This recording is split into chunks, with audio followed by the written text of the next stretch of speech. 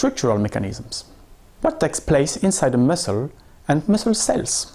Let's start with hypertrophy, the increase in muscular volume. This is what a culturist targets while training at the gym. In the case of hypertrophy, the number and size of myofibrils increase inside the muscle.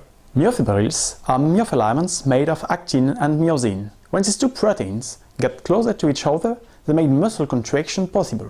The actin filaments of muscle fiber slide past the myosin filaments during muscle contraction. We increase the size as we break fibers when doing workouts. The overcompensation mechanism of the body will make these fibers bigger and stronger.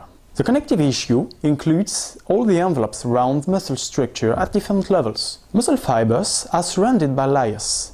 Then fiber bundles are also surrounded by another layer and the muscle itself by connective tissue called fascias. This tissue represents around 13% of the muscle weight. When we increase muscular mass, we also increase connective tissue in the same proportion. It adapts to strength workouts.